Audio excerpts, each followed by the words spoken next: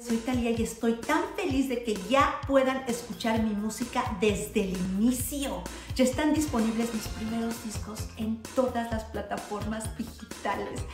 Qué emoción que la historia continúe.